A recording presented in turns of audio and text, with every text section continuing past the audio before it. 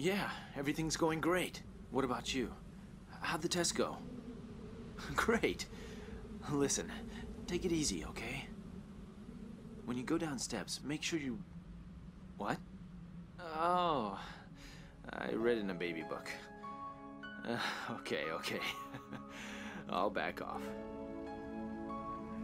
I love you too, Eliza. I'll call you again later. Just think. Me, dad. It feels like I'm dreaming. I guess it'll all feel pretty real once he's born, though. You and I used to just be plain old fighters, didn't we, Ryu?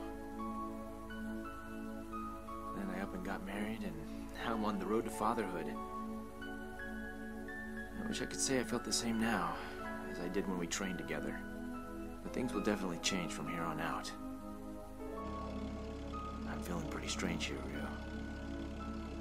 Change is good, but it can be scary too. I wonder what advice you'd have for me.